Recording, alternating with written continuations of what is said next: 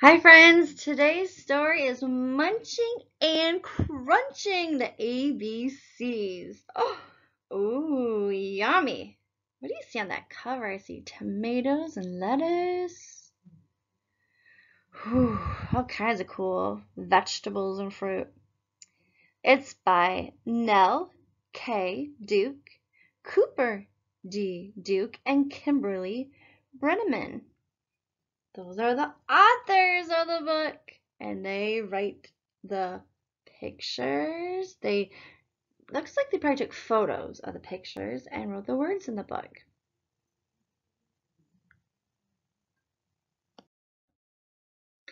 Munching and crunching the ABCs. Hey, I wonder if you guys munch and crunch on your ABCs and don't even know it. Oh! I wonder, let's find out if you've eaten some of your munching and crunching ABCs. A is for, hmm, apple maybe? Let's find out. Whoa, it's an apricot. I didn't even think about an apricot. Apples are munched and crunched but so are apricots. This small round fruit grows on trees too. And look, it has a big seed. Unlike the apple seeds are really tiny, aren't they? This has a big pitted seed. That's an apricot. B is for, what's that? Banana! You're right, banana! Like apples and apricots, bananas are a fruit. Fruit are part of a plant that have seeds. You might not think bananas have seeds, but they do. The seeds are very small and you can eat them. That is true. They have little tiny ones. C is for, what's that? Carrot! The carrots we eat are not fruit. They do not have seeds. They are a different part of the plant that we eat. Do you remember what carrots are? We learned about it. They grow in the ground and they are a root. Yeah, root. We call carrots a vegetable. D is for donut? No, look at there's a big red X. No, donuts are not a fruit or vegetable. They are not plants. They are something that people make. You're right. You have to make it with the dough. D is for dragon. A dragon fruit. Dragon fruit are part of a plant that grows in many places around the world. E is for, ooh, Mr. Ryan likes this one. Eggplant! Eggplants aren't eggs, but they are from plants. People cook eggplants to eat them. We usually call eggplants vegetables when we cook them, but eggplants are the fruit of the plant. They have seeds inside too. F is for, oh, do you guys know what that is? It's a fig, a fig. People and other animals eat fig fruits. Animals poop out the seeds, which can grow into new fig plants. Ooh. Okay, that's interesting, huh? This is the way a lot of seeds are spread. G is for gourd. Oh, you see these at Halloween time.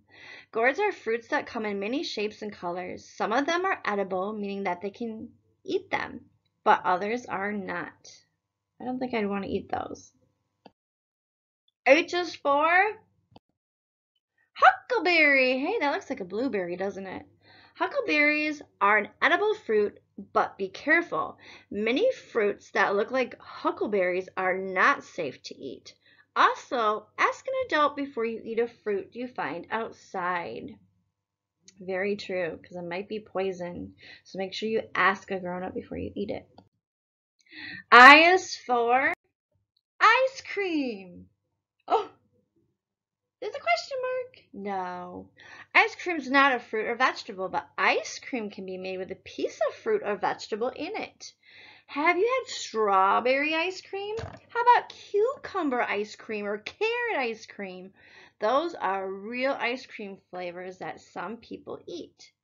Another fruit with the name fig is the Indian fig. People make jam, jelly, and drinks out of the Indian fig. I've never heard of that one before. J is for jackfruit. Jackfruit are related to figs. Can you see some ways they look similar? Yeah, they both have seeds. K is for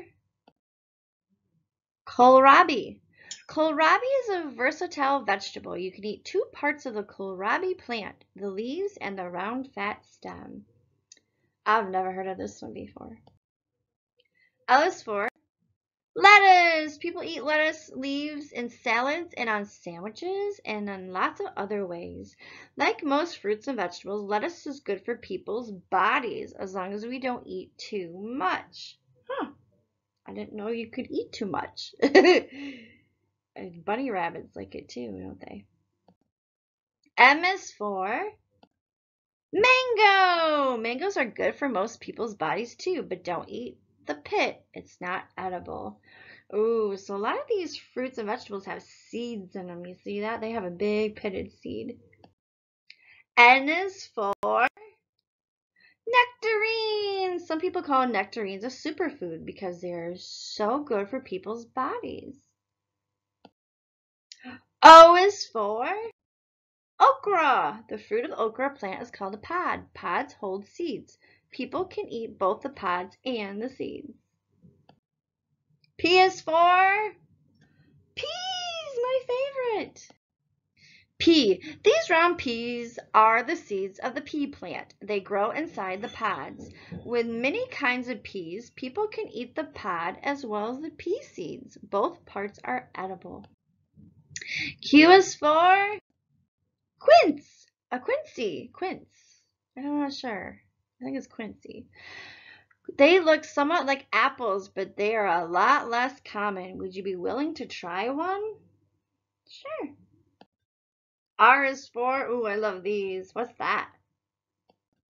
Raspberry. There are about 100 seeds in one raspberry. Good thing the seeds are edible. There's a lot of seeds. S for, ooh, another one of my favorite. Strawberry. Strawberries are also a fruit that we eat. Can you find the seeds on a strawberry? They're on the outside. Look at all those seeds. Good thing we can eat them. T is for, ooh, you can make pizza sauce with this vegetable. It's a, or actually it's a fruit. Tomato. So many foods are made from tomato fruit, such as ketchup, many kinds of salsa, and some kinds of pasta sauce. U is for uh, uh, ugly fruit. There's a fruit called ugly fruit. The outside of an ugly fruit is not edible, but the inside is. There are other fruits like that, such as bananas and oranges. V is for a vanilla bean. Vanilla beans grow in pods. People dry the pods in a special way so that we can use the pods and beans to flavor the drinks and foods such as ice cream. W is for watercress. Watercress is an unusual leafy vegetable. This plant usually grows in water rather than on land. X is for exigua. That looks like a lot like watermelon, doesn't it? It's a watermelon. Oh wow, the Chinese word for watermelon begins with a exigua. Wow, that's a fancy name for watermelon. Y is for yam. The part of the yam plant that we eat grows underground. Usually yams are cooked before being eaten. Z is for, oh, I know this one. Zucchini. My mom makes zucchini bread. It's really yummy. Zucchini that we eat is the fruit of the zucchini plant. It is also sometimes called a superfood. Eating zucchini is great for many people's bodies. You have munched and crunched all the way from A to Z. Remember your fruits and vegetable, your fruits and veggies to eat healthy. So yeah, so if we want to stay healthy, we need to eat our fruits and vegetables, right? Yep. And then here is a glossary, and it talks about all the different fruits and vegetables that we looked at. And there's an index if you want to know where to find huckleberries. Go to page 15 and 16. Where do I find carrots? Go to page 5 and 6 and 18. Whoa. And that is the end. so we were munching and crunching on the alphabet all this time and you didn't even know it, I bet. So next time you eat a fruit or vegetable, I want you to say, mm, I'm eating an a, a, apple A. I'm eating a b, b, banana B. I'm eating a carrot C. C, c, carrot. I'm eating a b, b, b, blueberry. All right, thanks, friends. I hope you enjoyed this story.